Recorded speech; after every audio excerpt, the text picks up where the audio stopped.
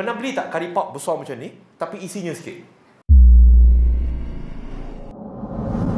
Walaupun tadi sebut bahawa uh, sudi datang ke surau yang kecil tetapi tuan-tuan dan puan-puan, sahabat-sahabat yang dikasihi dan dirahmati oleh Allah Subhanahu Wa Taala, suka saya ingatkan diri saya dengan tuan-tuan dan puan-puan.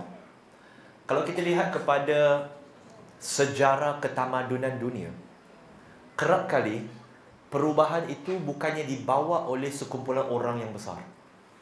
Kerap kali perubahan yang berlaku di dalam sejarah ketamadunan dunia ini dia seringkali dibawa dan didorong oleh sekumpulan kecil minoriti manusia yang committed akan suatu impian. Dia bukan soal banyak, soal sikit. Kalau banyak tapi tak bersatu buat apa? Tapi sikit dia committed, dia nak perubahan itu. Dan akhirnya kerana sekumpulan kecil yang committed kepada impian mereka itu, akhirnya dalam bahasa English dia disebut sebagai dia snowball.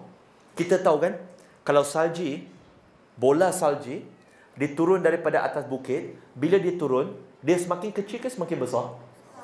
Logiknya semakin besar. Tetapi dia bermula dengan kecil. Jadi dia bukan soal surah besar ke surah kecil. Kadang-kadang, pergi masjid besar, orang sikit. Nampak lagi sikit. Tapi surah kecil, walaupun jumlahnya tak ramai, tapi nampak banyak. Sebab padat. Pernah beli tak kari pop besar macam ni, tapi isinya sikit? Tapi kari pop kecil macam ni, padat. Yang kita nak padat.